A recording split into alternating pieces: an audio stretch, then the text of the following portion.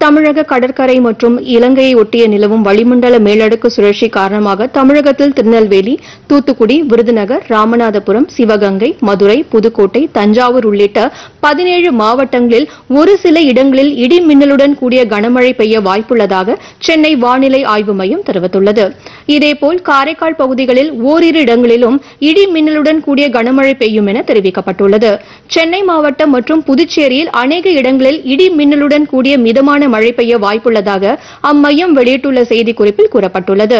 சென்னையை பொறுத்தவரை பிற்பகலில் வானம் பொதுவாக மேகமூட்டத்துடன் காணப்படும் என்றும் நகரின் ஒரு சில பகுதிகளில் இடி மின்னலுடன் கூடிய மிதமான மழை பெய்யக்கூடும் என்றும் தெரிவிக்கப்பட்டுள்ளது.